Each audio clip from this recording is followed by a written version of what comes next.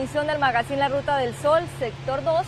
Hoy los saludamos desde las bases, como ven, del puente paralelo al río Sogamoso que construye la concesionaria Ruta del Sol SAS y que será entregado a la comunidad en dos años. Soy Karen Rocío Chávez y desde aquí los invito a ver los titulares. Avanzamos por la Ruta del Sol, sector 2. Estos son los titulares. La concesionaria Ruta del Sol SAS sigue socializando el trazado y todos los beneficios que tendrán los municipios de su zona de influencia. Barranca Bermeja recibió a los funcionarios que ante las autoridades explicaron este megaproyecto. Un nuevo centro de atención a la comunidad abrió sus puertas, esta vez en Pailitas. Desde allí la población de esta ciudad del sur del Cesar obtiene información de la construcción de la doble calzada. Como un apoyo primordial para elevar su calidad de vida, las integrantes de la Asociación de Confecciones de Pelaya quieren ampliarse a otros mercados y además incorporar nuevas mujeres a este proyecto comunitario. Entre el humor y sus raíces ancestrales se polemiza por el nombre de este cálido pueblo a orillas del Magdalena. Conoceremos un poco de la historia de Tamalameque. Su fe en la Virgen de Guadalupe lo llevó a ser reconocido como el artesano de las vírgenes. Albeiro Upegui fabrica sus grutas y las vende por todos los pueblos del sur del Cesar y norte de Santander. Con el programa Rehabitar la concesionaria Ruta del Sol SAS ratifica su compromiso con las familias que han tenido que cambiar su hábitat realizándoles un acompañamiento para que se adapten a su nueva vida. El proyecto de construcción de la doble calzada por parte del consorcio constructor Consol continúa socializándose con las autoridades de los municipios a lo largo de los 528 kilómetros. Esta vez llegaron hasta la localidad de Barranca Bermeja y allí dieron a conocer los retornos que serán ubicados desde Puente La Colorada hasta el Puente Sogamoso, también los intercambiadores de la Lizama y la Fortuna, el plan de manejo ambiental y el programa CREER. El puerto petrolero recibió la comisión de la concesionaria Ruta del Sol SAS y el consorcio constructor Consol para darles a conocer los detalles de cómo avanza el proyecto y de la manera como el municipio y sus zonas de influencia se deben preparar para mejorar su calidad de vida con esta supervía.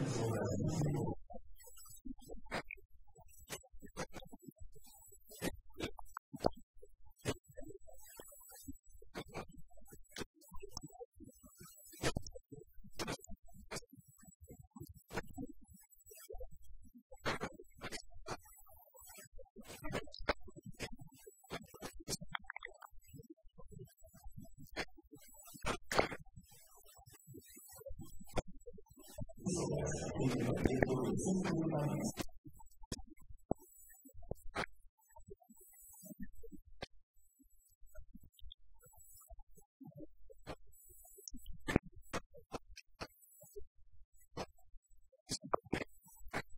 De manera atenta, las autoridades municipales conocieron de las variantes y de los retornos que se construirán en los diferentes centros poblados de Barranca Bermeja, desde Puente La Colorada hasta Puente Sogamoso, y manifestaron su satisfacción por los beneficios proyectados a partir de la llegada de más usuarios de la doble calzada.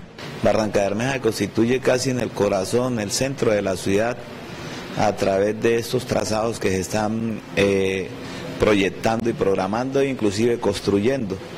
Eso nos da a nosotros casi que un paso obligado a todas las personas que quieran transitar por estos sectores y nos obliga lógicamente a ofrecer todos los servicios necesarios para atender a los viajeros, transportadores. Somos unos convencidos que el desarrollo se da en los sectores a través del sistema vial, donde se generan vías nuevas, donde se permite la movilidad, allí llega el desarrollo inmediatamente.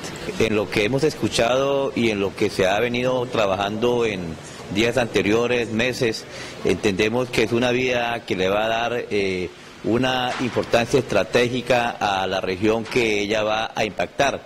Eh, hemos escuchado eh, el impacto social, hemos escuchado las recomendaciones que se deben tener en cuenta la comunidad que vive alrededor sobre, sobre no es lo mismo tener una doble calzada que una vía normal. Los líderes también conocieron los diseños del intercambiador de la Lizama y la Fortuna, que permitirán conectar la doble calzada con la vía que conecta al puerto petrolero con Bucaramanga. Para mejorar la comunicación entre la concesionaria Ruta del Sol SAS y los habitantes de la zona de influencia, la concesionaria estableció un nuevo centro de atención a la comunidad, esta vez en el municipio de Pailitas. Allí, además de recepcionar todas las inquietudes, se están recibiendo hojas de vida de aquellos interesados en trabajar en este megaproyecto. Para reforzar el plan social básico y el programa de atención a la comunidad, un nuevo centro de atención se abrió en la población de Pailitas, donde desde hace tres meses se vienen atendiendo todos los requerimientos que la comunidad tiene para la concesionaria Ruta del Sol SAS. Ha tenido muy buena aceptación, la persona, el personal, la comunidad en general se ha motivado bastante por pedir información sobre los procesos que llevamos, este, el proceso de preconstrucción, más que todo lo del manejo de hojas de vida sería así como más general. El CAC se convierte en un apoyo para la comunidad sobre frente a la empresa, sobre el proyecto, sobre eh, las posibilidades del ingreso a trabajar, sobre orientarse, informarse. Con la recepción de hojas de vida, además de las peticiones, quejas, reclamos y solicitudes, esta dependencia atiende al público en todas las dudas que se generan en torno a los detalles del trazado y la adquisición de predios. Bueno, hasta el momento solamente hemos recibido dos, que es una sugerencia y otra queja, porque como todavía no estamos en el proceso de preconstrucción, porque apenas venimos en el tramo 6, son, son, pocas las que estamos manejando, que fue una sugerencia para la viabilidad, viabilidad, de un retorno y la otra que fue una queja por el tiempo de espera en el servicio de peaje.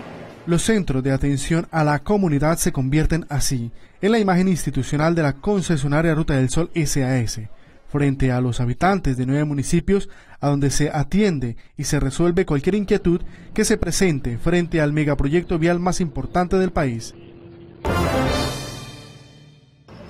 Surgió como una iniciativa para mejorar la calidad de vida de las mujeres cabeza de hogar en el municipio de Pelaya, pero hoy ya son una asociación que confecciona los uniformes y los trajes de educación física de los colegios de esta localidad, pero ellas están decididas a ampliar sus mercados y llegar incluso a otros municipios. Todos los días después de organizar sus compromisos domésticos, este grupo de mujeres se reúnen en el taller de la Asociación de Mujeres Confeccionistas de Pelaya para apoyarse y salir adelante como madres cabezas de hogar. Nos encontramos bastante, fueron muchas. Y bueno, unas empezamos a hacer reuniones, hasta acá en el parque hacíamos. Y, así iniciamos, con la ayuda del señor Martín Avilés, doña Ligia, y hasta la presente ya tenemos cuatro años, estamos acá con la ayuda de Dios. Pues para nosotros ha sido favorecimiento, pues no tenemos, por ejemplo, en mi caso soy madre, cabeza de hogar, pues a veces dejo que hacer por venirme para acá en la mañana siempre, a las 8 hasta las 12, de 2 a, 5. Esta idea surge del interés de muchas de ellas por capacitarse y ser parte activa de la economía de Pelaya. Fueron 13 personas que empezamos este trabajo. Con la ayuda del Señor, pues eh, nos hemos mantenido cinco por ahorita porque ya unos por motivo de enfermedad, por motivo de familiares se han retirado. Al no poder estar todo el día acá trabajando, entonces algunas están trabajando en casa, pero de igual están acá, trabajan en casa. Y pues ha sido de mucha ayuda porque hay mujeres, acá hay muchas mujeres eh, cabeza de, hogar, mujeres que luchan con sus hijos. Eh, yo no, gracias al Señor tengo mi esposo, y, pero estoy acá por también ayudarlas para que esto salga adelante. Poco a poco, y con el apoyo de la alcaldía, fueron adquiriendo equipos y maquinarias que las hacían más competitivas en el mercado de los uniformes escolares y deportivos. Estamos ofreciendo uniformes para el integrado, la pública, el jardín, eh, suaderas, medias, eh, pantalonetas. También estamos surtiendo el CAE, los CAEs, el nuevo agrupado, que es el colegio nuevo que hay ahorita. Tenemos toda clase de colegios surtimos el comercio, los almacenes, también estamos surtiendo ahorita. Sus metas no paran aquí, ya tienen proyecciones que las hacen soñar con nuevos miembros y además nuevos mercados para las poblaciones vecinas. Esperamos con la ayuda de Dios muchas personas más nos ayuden, nos manden a hacer más, manden contratos, algo así para podernos superar porque y para poder generar más empleo, porque es que en la verdad estamos ahí estancadas que con lo poco que sale de acá del mismo comercio aquí del pueblo, de los estudiantes, de los colegios, pues con eso hemos mantenido esto. Pero queremos que con la ayuda de Dios y la ayuda de las demás personas nos colaboren, nos den más inicios para nosotros poder seguir adelante.